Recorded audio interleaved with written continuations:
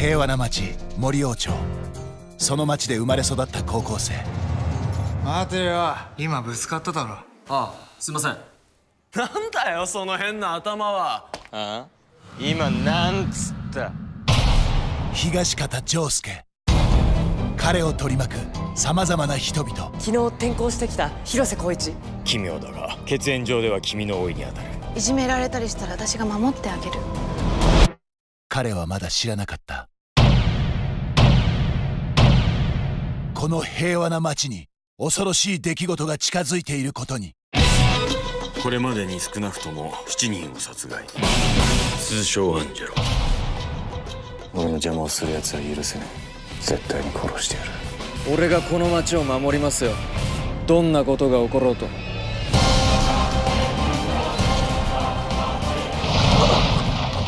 嘘でしょ。それがお前のスタンドか。スタンドとは生命エネルギーが作り出すパワー。悪いのはお前だ。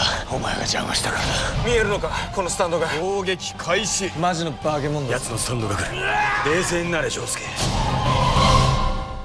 俺は別に冷静ですよ。チコッと頭に血が上っているだけっす